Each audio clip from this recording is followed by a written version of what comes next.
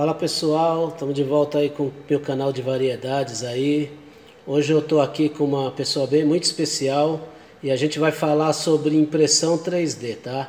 Aqui eu vou apresentar para vocês a Ana. Olá, estou estreando no canal do seu Wilson. Tá? E hoje a Ana vai dar o passo a passo aí de como proceder para fazer a impressão 3D, certo Ana? Certo, hoje a gente vai fazer uma centopeia. Tá? É, primeiro, a gente procura aqui nesse site Thingsverse, né? Como, como achar a centopeia, né? A gente achou um arquivinho aqui e a gente vai baixar o STL dele, é esse arquivo aqui, Anchored Articulated Centipede, deve ser isso. Vou baixar ele aqui. E agora, deixa eu fechar aqui para começar do zero, né? Então a gente vai minimizar aqui o Google, minimizar tudo. Vamos entrar aqui no software da máquina, que é o Repetier. Tá? Esse é o software da nossa impressora 3D. Ele tá aqui. Vamos conectar com a nossa impressora. Aqui no cantinho. Conectamos. Agora vamos, procurar, vamos carregar um arquivo para a gente fazer nossa centopeia.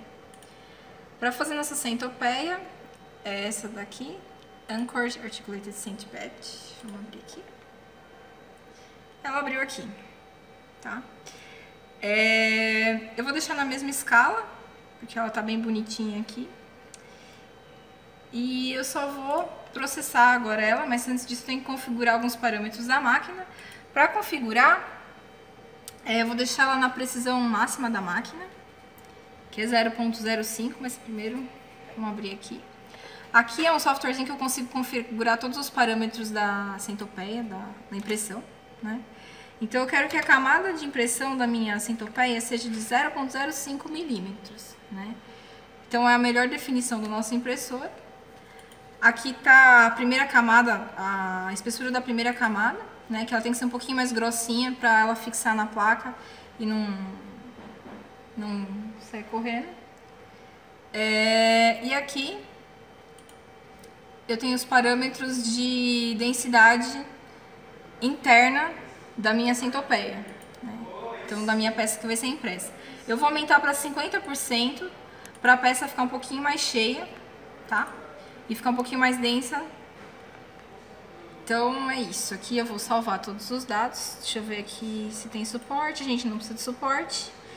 Vou salvar, salvei, beleza? Fechar aqui. E agora eu vou pedir para processar a minha centopeia. Eu espero que dê certo. Essa aqui é a nossa impressora 3D, tá? Ela é uma, vou fazer uma propaganda aqui, a GT Max 3D. Não conheço essa empresa, enfim. É... O modelo dela é esse, né? A gente tem que carregar ela com um filamento. Então a gente colocou aqui um rolinho de ABS, ele saiu um pouquinho fio aqui, ficou um pouquinho livre, mas não tem problema. Tem uma engrenagemzinha aqui que vai puxando ele para ir para a extrusorinha que tá aqui em cima, né? O bico dela tá aqui né? Acho que no vídeo vocês vão conseguir enxergar. Esse bico ele vai aquecer até mais ou menos uns 230 graus, que é a temperatura para o ABS começar a ser processado aqui, né? A gente tem uma, ela é uma, uma impressora fechada, né? Então a gente tem uma câmerazinha para a temperatura ficar uniforme. Essa base também esquenta, tá? É, e a gente tem um vidro aqui em cima. Né? Esse vidro ele é preso com alguns clipezinhos, tá? Não vou tirar aqui, mas é um vidro separado. E antes da gente colocar qualquer peça, a gente tem que passar uma colinha por cima para a peça fixar. A colinha é uma colinha que veio aqui, que é essa daqui, tá? Mas pode ser laque, pode ser colaprite, enfim, tem várias, várias alternativas, tá? É... E aí, enquanto processa a pecinha lá, a gente tem que esperar, a gente pode colocar a nossa extrusora para aquecer, né? É só vir aqui em preparar, pré-aquecer ABS, selecionar, que ele vai chegar na temperatura de 230 graus bem rápido. E a basezinha também já vai esquentando para 110 graus, né? Então é isso, a gente só está esperando processar a pecinha. lembrando, pessoal, que você tem opções de, de materiais poliméricos. No caso, a gente está utilizando o ABS, mas a gente tem a condição também do material biodegradável, né, Ana? Que é o PLA, tá bom, pessoal? Ok.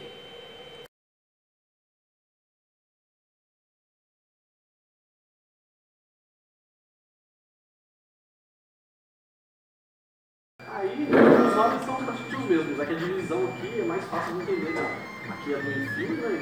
Ou preenchimento, aqui é de suportes. Esse... Shell é parede. zero tá, mas tá bom. 0,8 milímetros, tá bom. Não, a pessoa põe, igual eu falei, 0,8 a 1,2.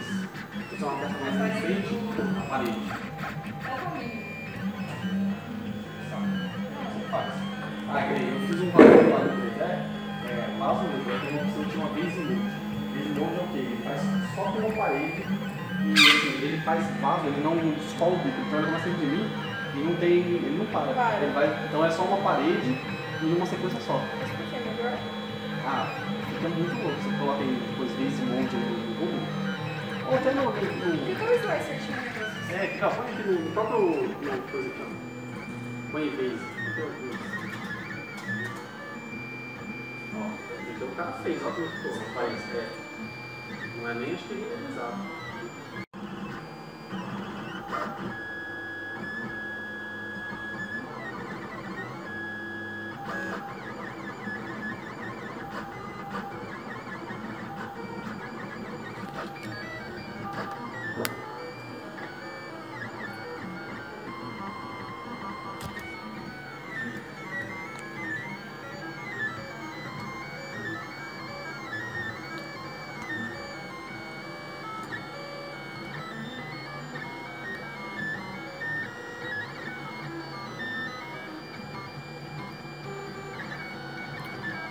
Então, estou gravando aí o, a- o símbolo do Corinthians. Não esquente com a cor verde não, que o material que a gente tinha o ABS só tinha nessa cor verde.